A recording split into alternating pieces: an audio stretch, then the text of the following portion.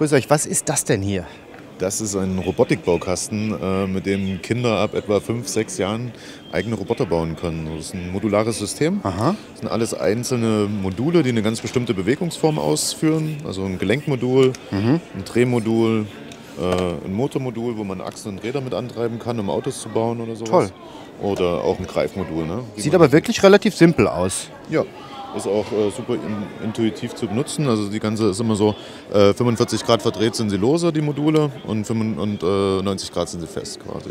Okay. Das Kernelement ist der rote Würfel, nennen wir Powerbrain, weil es wirklich Herz und Gehirn des Baukastens ist. Also es ist ein Akku drin und die Elektroniksteuerung.